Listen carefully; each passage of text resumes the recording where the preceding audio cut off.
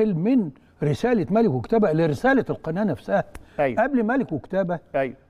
ها كان أيوة. كنت أقدم برنامج الاهلي اليوم. الاهلي اليوم. استضفنا ما كانش فيه أي وسائل إعلامية أخرى تبع أندية. آه. كانت قناة الأهلي. آه، قناة الأهلي.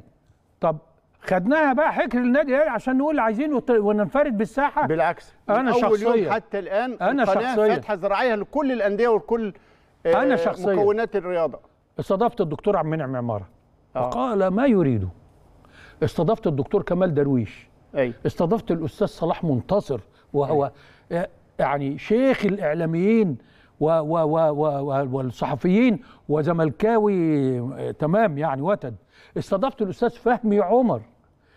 ده اللي بذكره استضف- وكان الكابتن طه بصر عليه رحمة الله واحد من محللين استوديو الأهلي التحليلي. كان بيجي آه. في الاستوديو عشان الكابتن حلمي طولان كان ضيف الكابتن ليه- مصطفى عبده ليه؟ عم ليه بنعمل كده؟ عشان كنا نتيح الفرصة إن يبقى قناة الأهلي منبر للجميع. هي دي المسؤولية. منبر للجميع. آه. فلم نكن ولو كنا دعاة كراهية ما حضر أحد من هؤلاء الرموز. صحيح. اطلاقا. صحيح. وما زلت أذكر لو لو عندنا يعني نقدر نجيب فقرات من الكلام ده شوف الأستاذ صلاح منتصر لما جه قال إيه؟ شوف الأستاذ فهمي عمر والذي كان كيف تذكرتموني؟ إحنا أول ناس بعد فترة طويلة.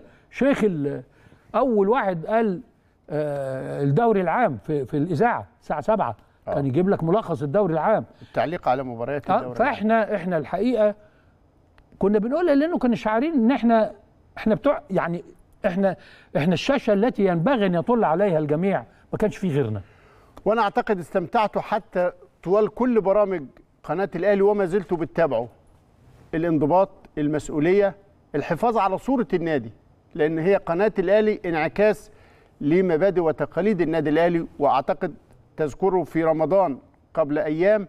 استمتعت بعرض الكابتن أسامة حسني في برنامج رياضي انساني اجتماعي رائع رد الجميل. وشفت رموز الكرة المصرية والرياضة كلها على شاشة الاهلي اللي ستظل دائما وابدا حريصة على تفعيل المزيد من العلاقة بين النادي الاهلي والأندية الأخرى الشقيقة.